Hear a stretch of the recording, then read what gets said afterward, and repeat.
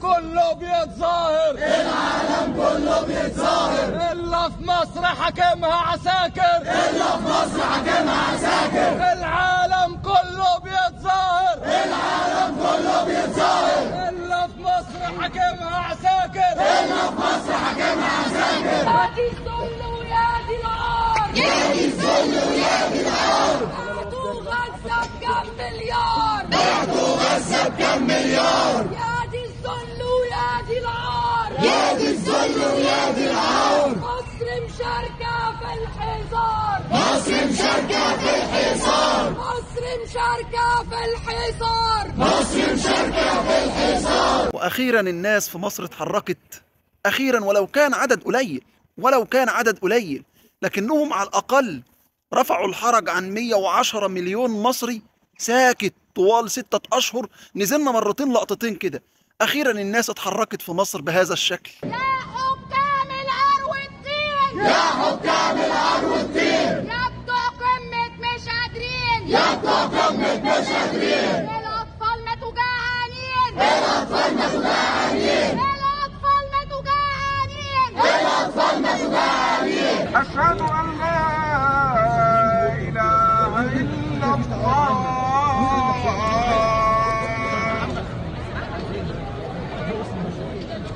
اشهد ان محمدا رسول الله. خليني أقول لك إن وارد يكون دي أكبر عدد لناس نزلت أمام نقابة الصحفيين منذ أحداث 7 أكتوبر.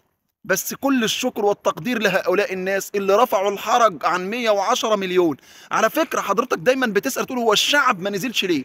ودي نظرية غريبة إن الشعب المصري بيسأل الشعب المصري ما نزلش ليه الشعب المصري. حاجة غريبة جدا جدا ومع ذلك لو حضرتك عايز تنزل كل يوم تلات قبل الفطار بيكون في وقفة احتجاجية. التلات اللي جاي هيكون طبعا آه، عيد الفطر المبارك كل عام وأنتم بخير.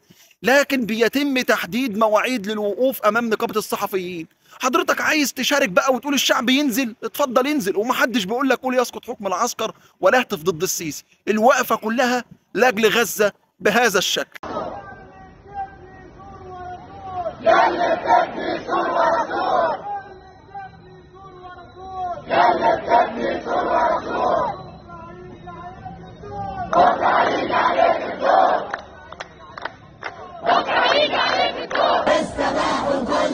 واستهانوا بالعروبة واستهانوا بالعروبة واستكانوا للخواجة واستكانوا للخواجة عمرهم ما يكونوا منا عمرهم ما يكونوا منا هم حاجة وإحنا حاجة هم حاجة وإحنا حاجة حاجة وإحنا حاجة هم باعوا البندقية باعوا البندقية والوطن والجلابية والوطن والجلابية إحنا اصحاب القضية وإحنا اصحاب القضية إحنا اصحاب القضية إحنا اصحاب القضية ليه بقول إن الناس اللي نزلت دي رفعت الحرج عن 110 مليون؟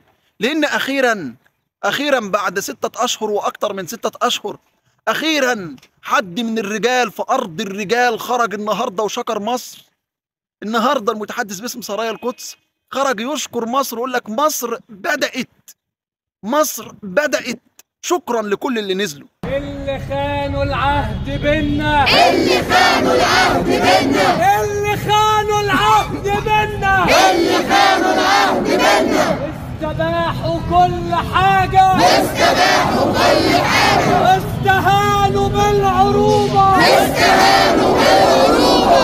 استكانوا للخواجة. استكانوا للخواجة. عمرهم ما يكونوا منا. بأعلى صوت.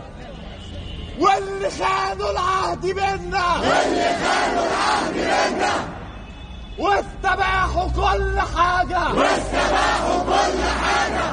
واستهانوا بالعروبة. واستهانوا بالعروبة واستكانوا للخواجة. واستكانوا للخواجة. عمرهم ما يكونوا منا. عمرهم ما يكونوا منا. هم حاجة وإحنا حاجة. ليه بقول للناس انزلوا وإن المظاهرات بتغير؟ والله بتغير الواقع كله. أقول لحضرتك ليه؟ لأن المظاهرات لو ما كانتش بتغير شفت حضرتكم المظاهرات اللي حصلت في الأردن؟ النهارده أزيد من اليوم العاشر وأكتر من اليوم العاشر على التوالي مظاهرات غير مسبوقة في الأردن صح؟ هذه المظاهرات لو ما كانتش بتغير المعادلة كان انتفض الذباب الإلكتروني الداعم لابن سلمان علشان يساند آه، ملك الأردن بينما لم ينتفض لأجل غزة حتى هذا اليوم.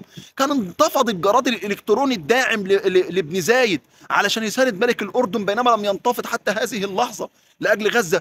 كان انتفضت المعيز الإلكترونية الداعمة لعبد الفتاح السيسي. كل هؤلاء انتفضوا علشان يشوهوا لك صورة المظاهرات اللي في الأردن. ليه؟ لأن الشعوب لو اتحركت كل هذه الأنظمة الكرتونية انهارت خاصة الأنظمة الديكتاتورية غير الشرعية اللي بتيجي بناء على عدم رضا كامل للشعب سواء هذا النظام جاي بدبابة أو نظام بالوراثة. بابا وبابا ملك أنا بابا بعد بابا على طول. هذه الأنظمة القمعية تخشى صوت الحرية تخشى صوت الأحرار خاصة لما يكون في قلب العروبة. في قلب مصر بهذا الشكل. قولوا نرفعنا في كل مكان. قولوا نرفعنا في كل مكان مصر محاصرة هي كمان. مصر محاصرة هي كمان. مصر محاصرة هي كمان مصر محاصرة هي كمان يا دي الحوسة ويا دي الهم يا دي الحوسة ويا دي الهم. التيحم مطحون بالدم. التيحم مطحون بالدم. يا حكام عربية جبانة. يا حكام عربية جبانة. يا حكام عربية جبانة. يا حكام عربية جبانة. العرجاني وهلا كمان أنتم عملاء الكيان أنتم عملاء الكيان العرجاني وهلا كمان العرجاني وهلا كمان أنتم عملاء الكيان دايما بنقول لحضراتكم أنت تقدر تضع فرق كبير جدا في المعادلة. عايز أقول لحضراتكم بس على حاجة كده في المظاهرات اللي حصلت والهتاف اللي حضراتكم لسه سامعينه. الهتاف ده كان ضد إبراهيم العرجاني. إبراهيم العرجاني ده للناس اللي لسه ما تعرفش مين اللي هو صورة امام حضراتكم ده اللي قاعد مع عبد الفتاح السيسي. ده أكبر تاجر مخدرات في تاريخ مصر كلها في سيناء. كان أخذ مجموعة من الجنود ومن الضباط في آه، في في سيناء في 2010 وبعد 2010 وقبل 2010 وعمل اللي عمله فيهم ومحدش يعرف أماكنهم لغاية الآن. إبراهيم العرجاني ده قرايبه مجندين في الجيش الإسرائيلي. إبراهيم العرجاني ده بنته بت... بتعالج في مستشفى هداسة في إسرائيل. إبراهيم العرجاني ده نتنياهو بيتعالج في نفس المستشفى اللي فيها بنت إبراهيم العرجاني في مستشفى هداسة في إسرائيل. عشان نتنياهو عنده عنده فتاء. اتفتق نتنياهو اتفتق فابراهيم العرجاني اللي صورته أمام حضراتكم ده الشاب اللي هتف وقال لابراهيم العرجاني وشركة هلا شركة هلا بتاعت إبراهيم العرجاني موجود لها مقر كان في غزة ومقر في القاهرة. علشان المواطن الغزاوي اللي يدخل الآن في ظل اللي بيحصل ليهم من إسرائيل ومن الطيران وسبع شهور من الحرب الضروس عليهم المواطن الغزاوي علشان يدخل مصر حتى ولو هيعالج لازم يدفع لابراهيم العرجاني 5000 و10000 دولار. شفنا ناس كتير جدا من ال- الناس اللي خرجت من غزة اتكلمت. شفنا صحف كتير جدا خرجت تتكلم عن دور إبراهيم العرجاني في ابتزاز أهل غزة.